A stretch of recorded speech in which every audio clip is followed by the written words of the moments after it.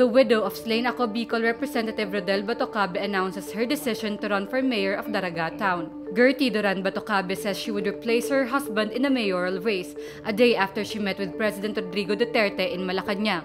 Duterte endorsed her mayoral bid and asked Albay Governor Al Francis Bichara to support her as well. I have the president behind me, the governor behind me, the people behind me, and my family behind me.